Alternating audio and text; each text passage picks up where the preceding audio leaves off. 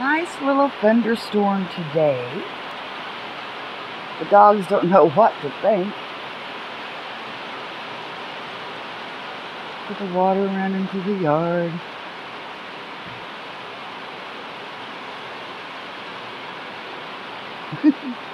it's raining so hard that it's coming through under the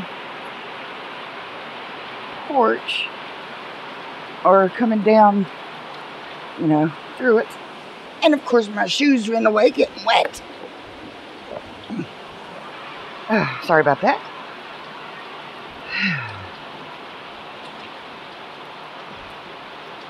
And of course, when I come over to come out to show you all, the thunder lets up.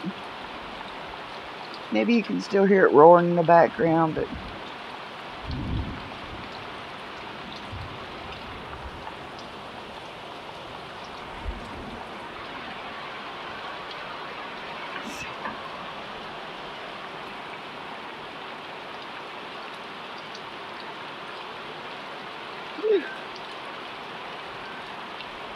Oh, I just saw lightning.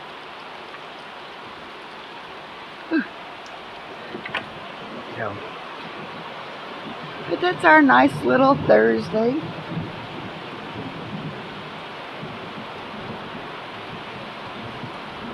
So, when we go mining tomorrow, it's gonna be a muddy mess.